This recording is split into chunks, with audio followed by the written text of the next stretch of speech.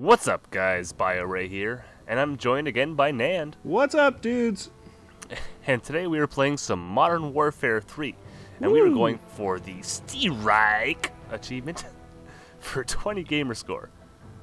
And for this one, you have to get or kill five enemies with one grenade, Kind of a five birds, one stone type of thing.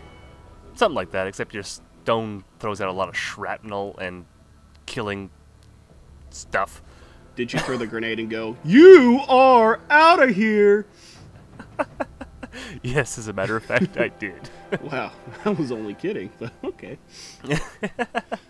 But uh, for this one, guys, I highly recommend doing it in survival mode. Um, I'm doing it on the map interchange here, but survival mode because the enemies are fucking ruthless. They will come at you and come at you and come at you. That's And what she said.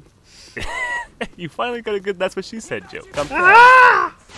My time has come. Anyway, go on. Yeah. Anyway, um, so my strategy here is you want to kind of cut him around like you kind of would in like a zombie mode or something like that.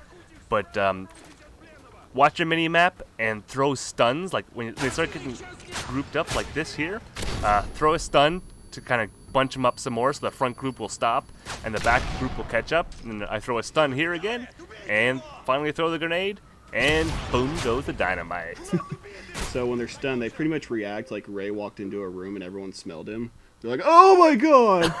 Oh, somebody throw a grenade, please! Ah, yes! I love you too, Nand. and on that note, we'll see you later. Bye.